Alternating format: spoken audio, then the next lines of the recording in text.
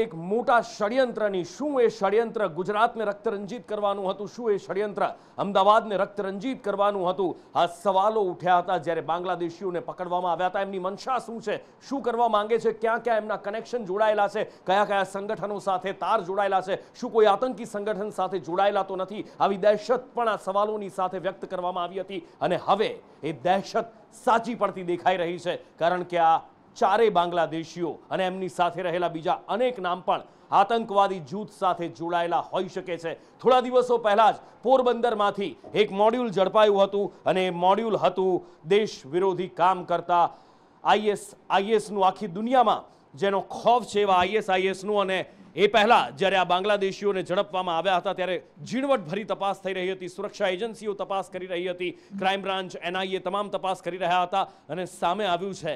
કે આ આ બાંગ્લાદેશીઓ અલ કાયદા સાથે જોડાયેલા હતા. ક્યાં ક્યાં સુધી તાર જોડાયેલા છે? અત્યાર સુધીમાં શું શું કર્યું? અને શું ખાના ખરાબીનો એમનો પ્લાન હતો? જિગ્નેશ પાસેથી જાણીએ. જિગ્નેશ.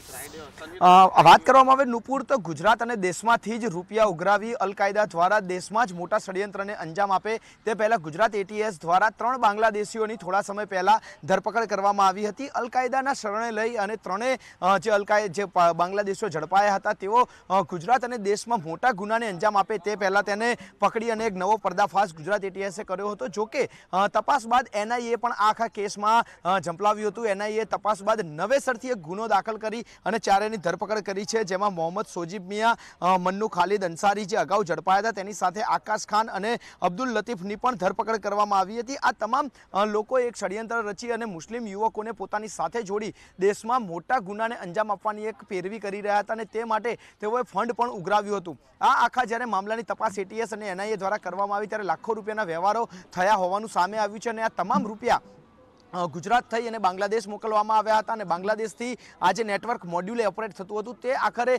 કહી શકાય કે છેલ્લે પાકિસ્તાન સુધી જોડાતું હતું. પરંતુ એનઆઈએ અને ગુજરાત એટીએસની તપાસમાં મહત્વની હકીકતો સામે આવતા વધુ એક વખત ગુનો એનઆઈએ નોંધ્યો છે અને ફરી એક વખત ચારેની ધરપકડ કરી નવેસરથી તપાસ હાથ ધરાઈ છે.